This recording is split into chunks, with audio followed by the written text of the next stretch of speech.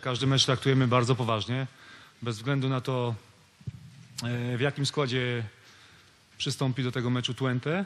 E, Jak wszyscy wiemy, ciągle mamy jakieś tam małe szanse na wyjście z grupy i dlatego trzeba zrobić wszystko, aby ten, ten mecz e, wygrać, a później zobaczymy, jaki wynik będzie w drugim spotkaniu w Londynie.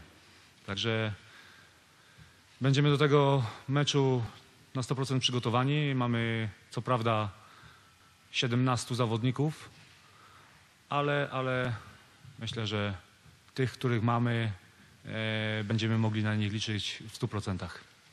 Marko Jovanowicz, tak jak spodziewaliśmy się, trenował dzisiaj z nami i, i wierzę w to mocno, że jutro będzie jeszcze lepiej, będzie do gry. Myślę, że powinniśmy tylko i wyłącznie się skoncentrować na, na sobie. Przede wszystkim to my musimy wygrać ten mecz. E, a później będziemy oczekiwali, zobaczymy jaki będzie wynik e, meczu e, Odense. Znaczy Fulham Odense, także my musimy najpierw swoje zrobić, a, a potem zobaczymy co nam, co nam los przydzieli. Znaczy oczywiście, że mamy ich ostatnie mecze, natomiast nie przywiązywałbym do tych meczy jakiejś dużej wagi, bo, bo, spodziewamy się jakichś tych zmian e, w drużynie i, i może to zupełnie inaczej wyglądać. Także to, co już wspomnieliśmy ja i Patryk, e, ważne jest to, jak my będziemy grali, jak my podejdziemy do tego meczu.